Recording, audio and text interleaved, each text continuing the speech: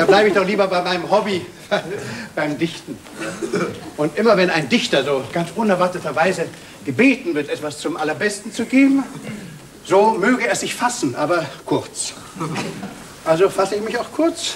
Sie hören, zwei Vierzeiler. Ganz neu, ganz, ganz warm noch. Ich fange vorne an. Zellen. Das Leben kommt auf alle Fälle aus einer Zelle. Doch manchmal endet es auch bei Strolchen in einer solchen. Das nächste ist auch nicht länger. Zähne. Die alten Zähne wurden schlecht und man begann sie auszureißen. Die neuen kamen gerade recht, um mit ihnen ins Gras zu beißen.